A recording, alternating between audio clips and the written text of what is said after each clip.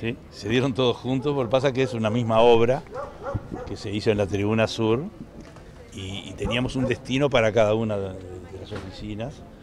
Bueno, este, fue difícil coordinar con todas las instituciones que, que estaban en esto, pero lo importante es que eh, la dirección de obras de la Intendencia, Mauricio Tejera, el arquitecto que planificó esto, este, lo hizo muy bien y están todo el mundo contento con oficinas modernas ¿eh? y que dan tres, sí, a tres dos proyectos y un servicio que hace años que está, que estaba funcionando a trasmano, digamos. Todo el, todo el tema libretas de tránsito y todo el tema de, sal- de salud para el tránsito estaba a 20 cuadras de acá y era una, incomodidad para el, para el, este, para el usuario. Entonces, centralizarlo acá, donde tienen el trámite de, de tránsito, del otro volvió como antes, porque esto llegó un momento que lo abandonaron porque se llovía todo la tribuna, entonces abandonaron esto.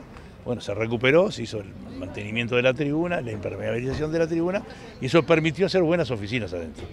Ahí se aprovecharon este, eh, el avance que se hizo, logró años pasados cuando recuperamos la tribuna, en las oficinas de tránsito. Por otro lado, estos dos proyectos, ¿no? ¿Eh? El proyecto de las pequeñas empresas, ¿no? El centro PYME ¿eh? y el centro de, el plan piloto de, de adicciones, este, que son dos objetivos importantes que tenemos en el gobierno.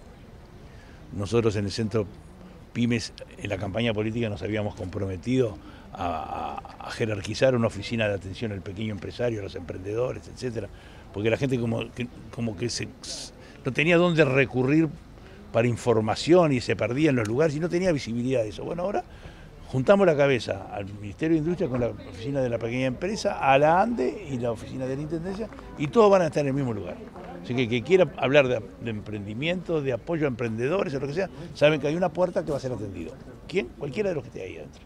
El apoyo del, del presidente, o sea, el apoyo a nivel país siempre importante y dejando a Maldonado en un lugar destacado, ¿no? Sí, lo que pasa que, pasa que digo, la oficina de pymes, eh, emprendedores, pequeñas empresas, los países se recuperan, se levantan de las crisis con el esfuerzo de las pequeñas empresas. Es, eh, y Uruguay es un lugar para pequeñas empresas, ¿no? No hay grandes empresas, muy pocas grandes empresas, muchas medianas y pequeñas empresas.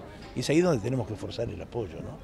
Porque la gente eh, con la iniciativa privada, con el impulso individual ha logrado cosas muy importantes. En este departamento hay miles de muestras de ese tipo, ¿no? Así que estamos contentos de poder trabajar juntos con, el, con el gobierno nacional, porque aparte no es solo el departamental, el departamental con el nacional y ahí golpear las puertas de lo que se precise, ¿no? Esa es una buena